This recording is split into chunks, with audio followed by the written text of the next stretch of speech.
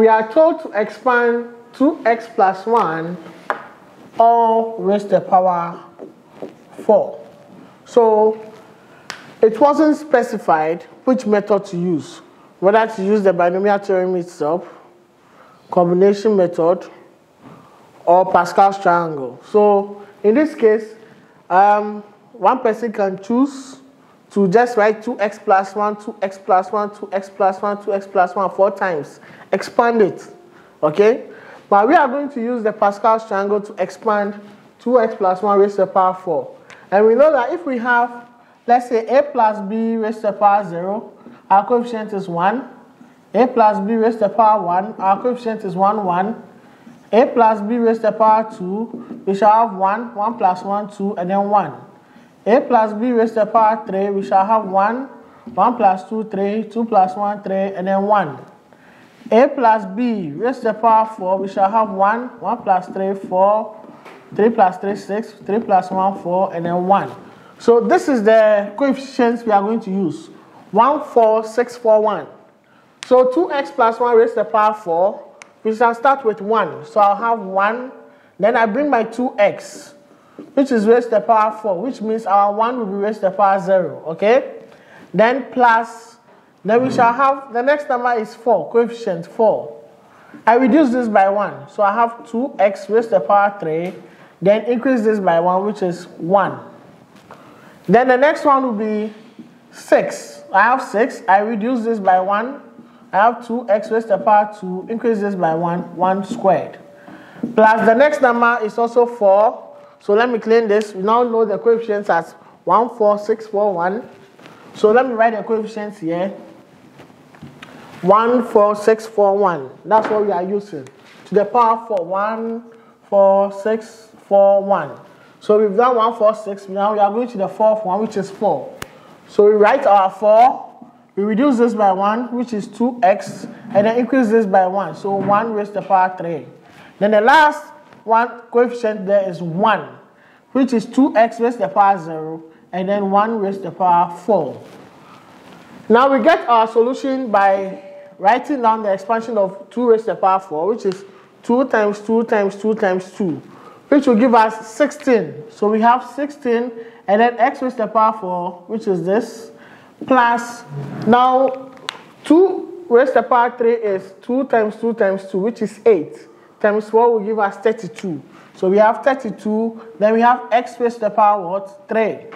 So remember, the 2 is being affected by the, the 2 is being affected by the 3 and the x is also affected by the 3. So we have 2 cube x cube, okay?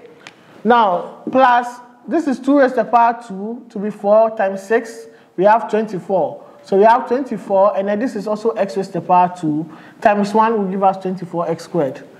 Plus, this will also give us 2 times 4 which is 8. So we have 8x plus 1 raised to the power 4 is 1 times 1, you have 1. So we have been able to expand 2x plus 1 raised to the power 4 in descending powers of x. Because you could see that my powers of x kept reducing to what? We had x raised to the power 0. Okay? So it was in descending powers of what? x. So this is our expansion for 2x plus 1 raised to the power 4.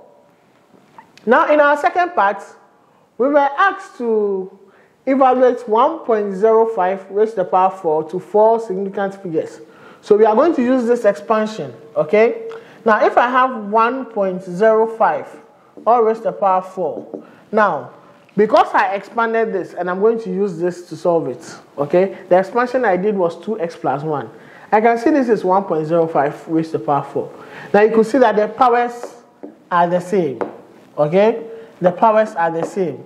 So I can say that practically somebody would just come and say 2x plus 1 raised to the power 4 is equal to 1.05 to the power 4.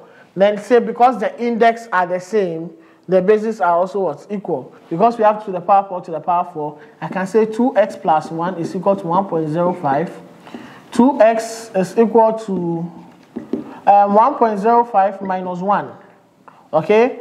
And then 2x is equal to this minus this will give me 0 0.05. If I want x, I divide here by 2, okay? And I divide here by 2. my x will be equal to 0.05 divided by 2. And what is 0.05 divided by 2? This will give us 0.025. 0.05 divided by 2. 0.025. So we have 0.025. That's how someone will solve it. Okay, very simple. Okay, but you can also go about it this way. Okay, if I have 1.05 to the power 4, I can write this in the form of this, which is I can write this as, let's say, 1 plus 0.05 all raised to the power 4. Okay? So writing 1.05, it can be 1 plus 0.05, which is the same as 1.05. Okay? Now, because I expanded 2x plus 1 raised to the power 4, when I compare this to this, my 1 is my 1, so I can also write this as, let's say, 1 plus 2x raised to the power 4. When I compare it to 1 plus 0.05 raised to the power 4, my, my power is this, my 1 is my 1, so my 2x is equal to, um, therefore 2x is equal to 0.05. Comparing, I divide here by 2, here by 2, my x is still 0.025, okay? So whichever way you want to do it, you have a way of solving for the value of x.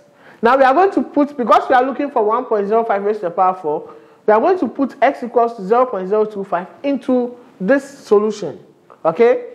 So we go, when x is equal to 0.025, we shall have this to be equal to 16 times 0.025 to the power 4 plus 32 times 0.025 to the power 3 plus 24 times 0.025 to the power 2 plus 8 times 0.025 to the power 1 then plus 1 okay? When we calculate this this is going to give us